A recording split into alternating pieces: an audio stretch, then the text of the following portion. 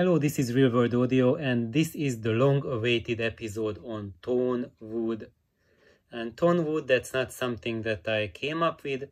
It is an expression that is used for lumber, for wood, that is instrument grade. So it means that is high enough quality to make a music instrument out of it because you cannot just make a violin or a guitar or a cello or a double bass from any kind of wood. It has to be a specific kind.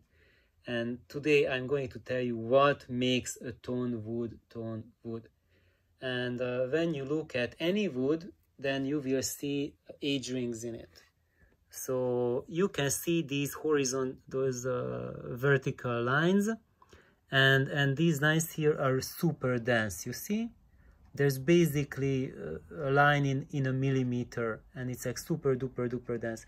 And now we are losing that density. So now up to this point if the entire wood was made like this then this couldn't be considered as tone wood and could be used to make a music instrument. But now we are going to this part and we have that nasty big knot in it and that precludes it from being a tone wood.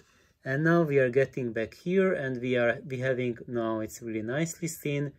We have again like those dense uh, age lines and this is nice again but that part is not good. And what this does here this will change the resonance parameters of the wood and alter the frequencies and it will give you certain uh, resonant frequencies and how it translates into sound because this is my AO speaker is that here and I have two more actually three more knots that each of these knots will cause added resonances which will smear the imaging.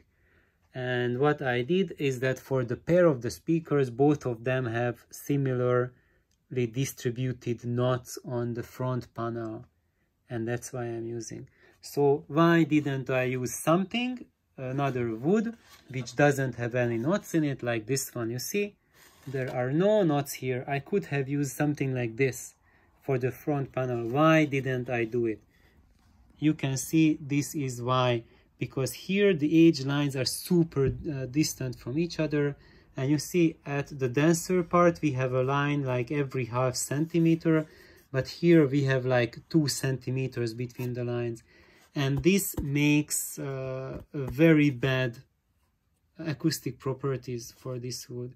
And when people today talk about uh, uh, that they don't like wood cabinets the reason is this because people when they build cabinets with a solid wood then they use this quality wood which is very far from tone wood and and this even with its knots is 10 times more preferable as cabinet material than this sort of wood.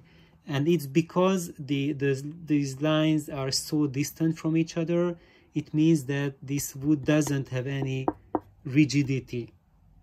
It doesn't have any uh, suppleness to it. So when uh, you hit bass notes it's just going to do flabby resonances and when you have these tight age rings then it will resonate at a very controlled manner. And then when you when you click on it it gives a, a, a more lively more sharp and and rapidly uh, uh, decaying uh, uh echo. And then here it, it, it is a dull sound. And and it doesn't sound like a music instrument. It's more like a just someone banging on a on a piece of whatever. So so here this is a consideration for loudspeaker cabinet making that the closest you can get to tone wood quality the better you go. And now I want to show you guys something truly special and I want to show you real tone wood. Check this out. This is real tone wood this is actually a piece from the uh, from a violin. So this is the resonant material in the violin. That's, it's called the soundboard. And uh, that's what they use to amplify the sound of the uh, of the strings in the violin. You see how dense the, the grain structure is. It's absolutely beautiful and gorgeous. So this was taken and cut out from the soundboard of a piano. It's absolutely beautiful and gorgeous. And let's see. And now I will make, I will show you something truly and extraordinary special because this was just tone wood from any piano but I will show you tone wood from an excellent piano. Ta-da! Look at this. This was a piece of the soundboard of a Steinway piano. And look at that. You see, it was not made today. Look at the dedications on it. To the King of Italy. Oh, that was long time ago. Emperor of Austria and King of Hungary. This is not today, guys. This is over 100 years old piano's soundboard. This is truly something special and this was like a really high grade piano of Steinway and look at, at the tone wood, look at the density of the edge lines and, and the uniformity it's just absolutely phenomenal. It's it's it's fantastic. So that's what tone wood is. And i'm going to cut up this soundboard although i really want to keep the uh, the logo on it. It's really beautiful. Maybe use it as as a front panel for an amplifier or something i would really hate to just cut up this part but I was thinking to cut out a sliver for it for a tone arm.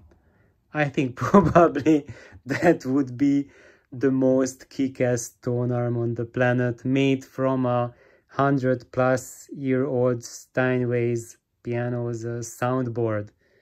I just really wonder uh, how many concerts did this piano have and, and who played on it. I will never know. But one thing it will probably enjoy tons more concerts if I make uh, tone arms out of it and I can listen to loads of pianists playing through them. So thank you for tuning in and uh, and please like, subscribe and just look at that. It's just insanely dense age rings here. And that's why uh, these very high-grade music instruments are so rare and that's why it costs so much to make them because this type of wood it really uh, is not frequent. There's only like a few forests in the world where such trees grow. And and these trees are many hundred year old trees and they need to uh, grow in areas of the forest where they are wind protected. And uh, there's only a few trees in a forest that are of this grade. And uh, and that's why today we want to manufacture pianos by the thousands but wood like this doesn't grow by the thousands. There's a few of them growing in uh, in each decade in each century and that's it. So thank you for liking for subscribing, telling your friends and getting ideas on uh, what to build, what to do and uh, what music to listen to and uh, just how to get your pets and your friends to join in your quest. Bye bye.